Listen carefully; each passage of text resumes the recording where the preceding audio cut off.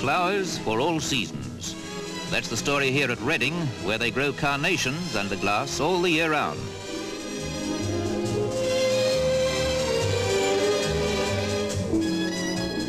Chrysanthemums, flowers that usually bloom late in the year. But under these glass acres, you can see them anytime. They grow for profit here, but it isn't money, but management in all its aspects that's the subject of study. So they simplify the growing process to the barest essentials, and they clip the problem right down to size.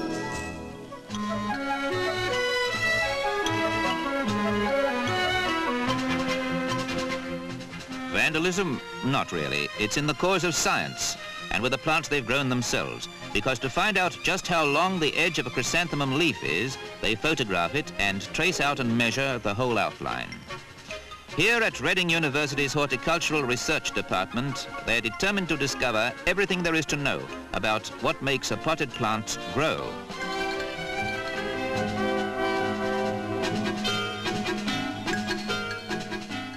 Plants breathe in what people breathe out, carbon dioxide. They breathe it in through pores, tiny but measurable in a test like this, which more or less forces a plant to breathe under controlled laboratory conditions.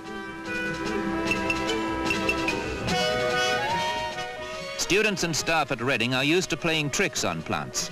They fake climate in environment control cabinets. Temperature, moisture in the air, even the length of day and night are organized in a grand deception behind locked doors. The amazing thing is just how adaptable plants are. In the middle of November, they can bring on spring, and the flowers believe it's true.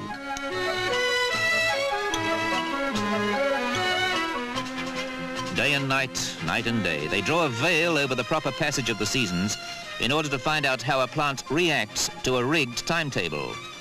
Plants that normally flower in September can come out at Christmas, or even six months out of season just by making the days longer in this red light darkroom.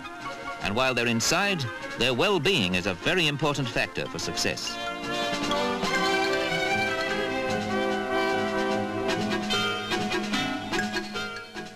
To stop a chrysanthemum flowering at its usual time, they simply give it a couple of hours extra pseudo-sunshine at the strategic moment, so the flower still thinks it's summer and holds back its blooms. It's all controlled by a punched computer program.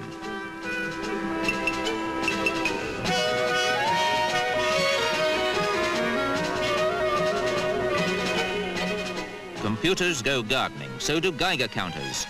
Plant rearers at Reading are interested in how a plant feeds, so they inject with radioactive food and follow it around stem and leaves just to see what a plant does with what it takes from the soil.